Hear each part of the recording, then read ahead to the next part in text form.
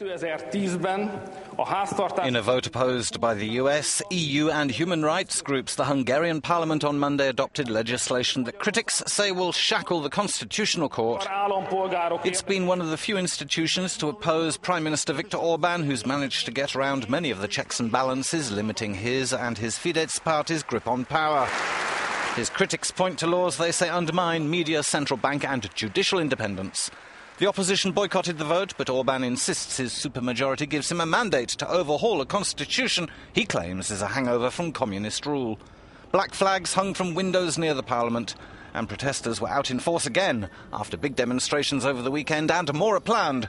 But the opposition is weak and divided. Orban dismisses the international criticism, saying it's been whipped up by multinational big businesses angry at crisis taxes. Hungarian state television blanked out policemen's faces.